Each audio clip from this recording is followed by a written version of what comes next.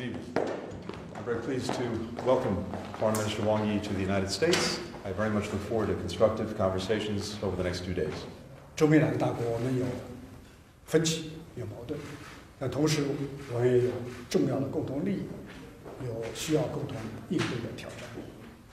所以，中美双方需要对话，我们要恢复对话，我们更要深入对话、全面对话，通过对话来增进我们的相互了解，消除误解和误判。那么，不断的寻求和扩大共识，开展互利合作，推动双边关系止跌企稳，尽快回到健康、稳定、可持续发展轨道。我们相信啊，最终时间会和事实会证明一切，历史会做出公正的评价。谢谢。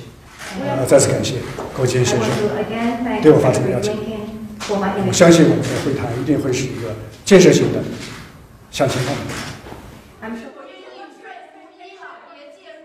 I, I agree with what the Foreign Minister said. Welcome.